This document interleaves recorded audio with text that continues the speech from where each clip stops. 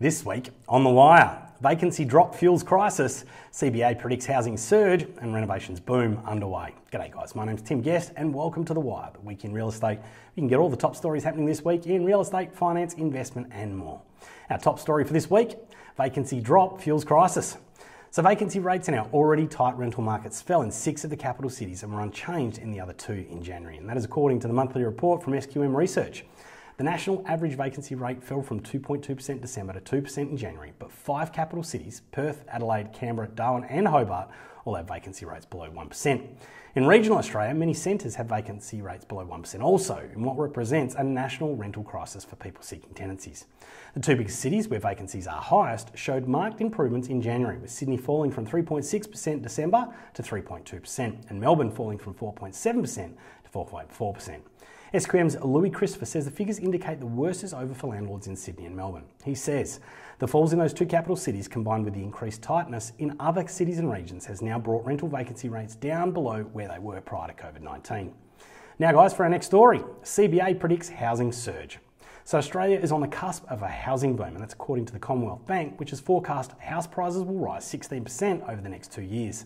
An economics issues paper by the bank's head of Australian economics, Gareth Aird, predicts national house prices would rise 9% in 2021 and a further 7% in 2022.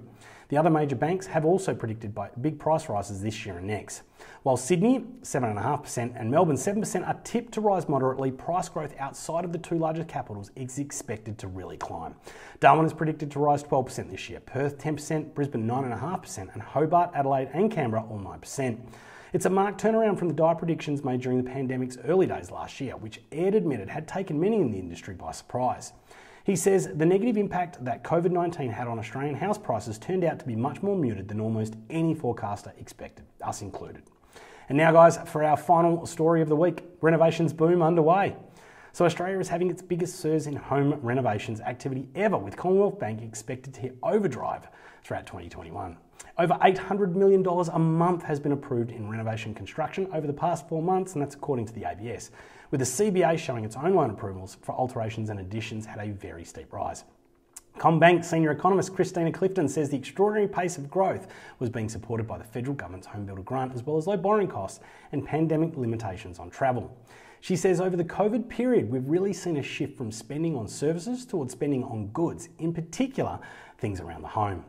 Now, approvals for alterations and additions grew 8% in December to sit 37% higher over the year, and that's according to the ABS. Not all renovation activity was being captured in the data, according to CBA, because not all uh, renovations and additions require building approvals. Well, guys, that's it for me today. They're all the top stories. Now, please don't forget to like, comment, and share this video and follow or subscribe wherever you're seeing this. Have a great week, guys, and remember, there's only one thing in life that makes a difference that's action. Thanks a lot, and bye for now.